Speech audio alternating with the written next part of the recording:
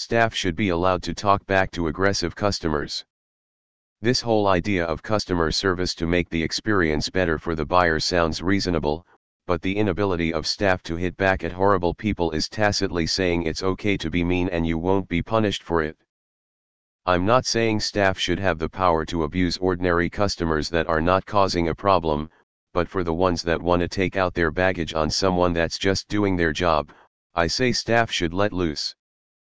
My favorite line is always I hope your day is as wonderful as you are. I've gotten a few stink eyes from it, but I've never gotten a complaint about it, because that would require the customer admitting that they were acting nasty, which we all know never happens. This is by no means an unpopular opinion. Just work at the restaurant that it encourages it. Dick's last resort.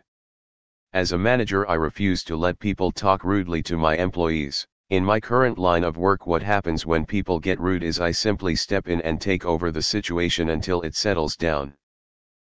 If it escalates I shut it down and can simply tell them to calm down or there is nobody else to help. When I was in retail however I was notorious for being the manager who would snap back when the customer got too sassy. I was the only one willing to kick people out and not take shit in any place I worked. I had a lady try to fight me because I defended an employee who simply asked her if she wanted a receipt and she lost her mind and started screaming and yelling into her phone that the employee was stupid and trashy. I tried to help and she blew up at me and I guess my face was showing I was not impressed and she threatened me. I smiled and opened her transaction in our system with her receipt, manually refunded the transaction and put her clothes on the back counter and told her to have a good day. She lost it and tried to jump the counter. People are crazy and think because I have a name tag you can walk all over me and my staff. Absolutely not, in Finland customer service people can. Nothing massively disrespectful of course, but we are allowed to stand for ourselves. When I visited the US I was actually astonished on how much ass kissing goes on everywhere I go. It's called buying shoes, not a full service Thai massage, Mall of America. Be a shit customer, get shit service. That's how it should be. Employees aren't there for customers to abuse. I've always found that you can push back if you choose your words well. A customer complaint about attitude is really hard to discipline if you don't cross any specific lines. I also have always lived by the maxim that any boss who is okay with people treating you like shit is not a boss worth working for.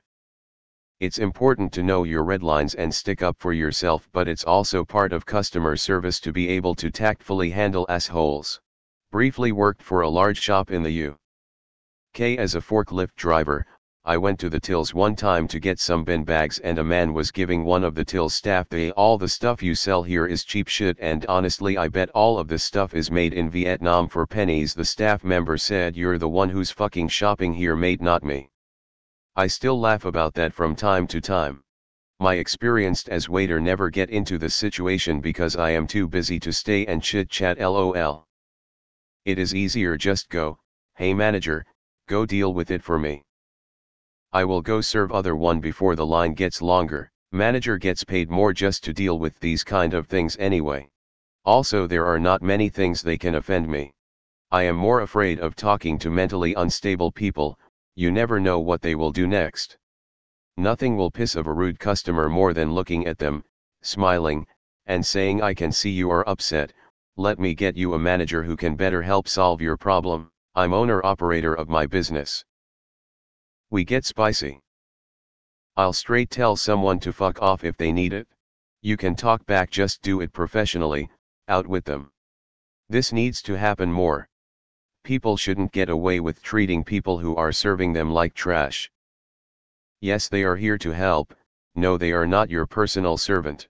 I was an automotive title clerk for 14 years, and I wholeheartedly agree with you. I've had customers threaten me when I wouldn't keep the office open past closing time just for them. I've had customers curse at me, insult me, call me racist, harass me numerous times over the course of a few days, and generally treat me like I wasn't even human at all. All over doing some paperwork for a car. A fucking car. And not to toot my own horn, no pun intended, but I was a very good title clerk, I was extremely accurate and very fast. It wasn't like I was total shit at my job to deserve that kind of treatment.